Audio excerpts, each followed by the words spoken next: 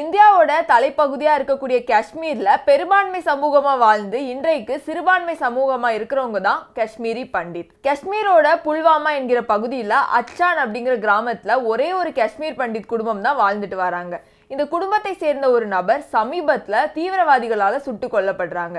தீவிரவாதிகள் ஏன் இந்த நபரை திட்டமிட்டு சுட்டு கொல்லணும்? இந்த தாக்குதலுக்கு பின்னணியில எந்த அமைப்பு இருக்காங்க? இதற்கு இந்திய அரசாங்கம் என்ன நடவடிக்கை எடுத்திருக்காங்க? அதெல்லாம் பத்தி தான் நம்ம இந்த வீடியோல பார்க்க போறோம்.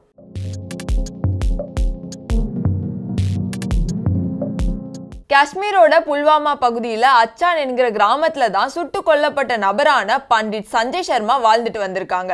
இவருடைய வயது நாற்பத்தி இரண்டு.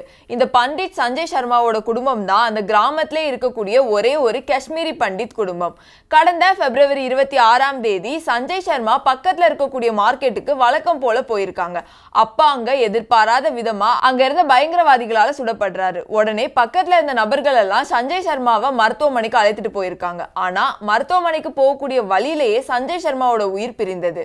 இவரோட இறுதி சடங்குல அவரோட குடும்பம் மட்டும் இல்லாம அந்த கிராமத்துல இருந்த பெரும்பான்மையான முஸ்லிம் மக்கள் எல்லாருமே பங்கு பெற்று இரங்கல் தெரிவிச்சிருக்காங்க. வங்கி பாதுகாவலரா பணியாற்றிட்டு வந்த சஞ்சய் சர்மாவை யார் கொலை பண்ணா அப்படின்னு அது தொடர்பா கொலை வழக்கு பதிவு செய்து காஷ்மீர் போலீஸும் இந்திய பாதுகாப்பு அதிகாரிகளுமே தேட ஆரம்பிக்கிறாங்க. அப்போ இந்திய பாதுகாப்பு துறைக்கு ஒரு தகவல் கிடைக்குது. அது என்ன அப்படின்னா பக்கத்துல இருக்கக்கூடிய கிராமத்துல இரண்டு பயங்கரவாதிகள் ஆயுதங்களுடன் பதுங்கி இருக்காங்க அப்படின்னு ஒரு தகவல் கிடைக்குது. உடனே அந்த இடத்துக்கு இந்திய பாதுகாப்பு படை வீரர்கள் எல்லாம் விரைந்து போறாங்க.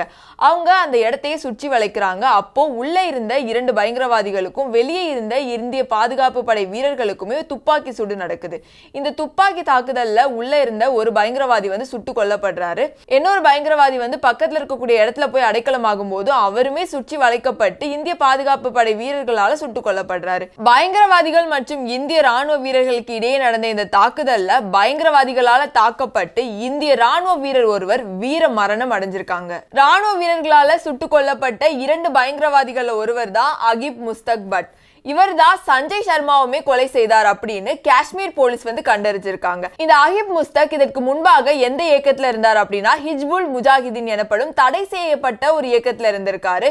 இவர் இப்போ எந்த இயக்கத்துல இருக்காரு அப்படின்னா த ரெசிஸ்டன்ட் ஃப்ரண்ட் எனப்படும் டிஆர்எஃப் என்கிற இந்த இயக்கத்துல தான் இருந்திருக்காரு. சஞ்சய் சர்மாவோட மரணத்திற்கு இந்த டிஆர்எஃப் இயக்கம் தான் முழு பொறுப்பு ஏத்திருக்காங்க. அது மட்டும் இல்லாம இந்த டிஆர்எஃப் இயக்கம் இந்திய அரசாங்கத்தால தீவிரவாத இயக்கம் அப்படின்னு முத்திரை குத்தப்பட்ட ஒரு இயக்கம். இது தொடர்பான தகவலை காஷ்மீர் மண்டல போலீஸ் போலீஸ் அவங்க ட்விட்டர் ஹேண்டில் தெரிவிச்சிருக்காங்க. காஷ்மீர்ல தொடர்ந்து இது போன்று காஷ்மீரி பண்டித்களுக்கு எதிரான பயங்கரவாத தாக்குதல்லாம் நடந்து கொண்டே தான் இருக்குது. இது போன்ற தாக்குதல்கள் மிகவும் கண்டனத்துக்குரியது. Nation first and everything next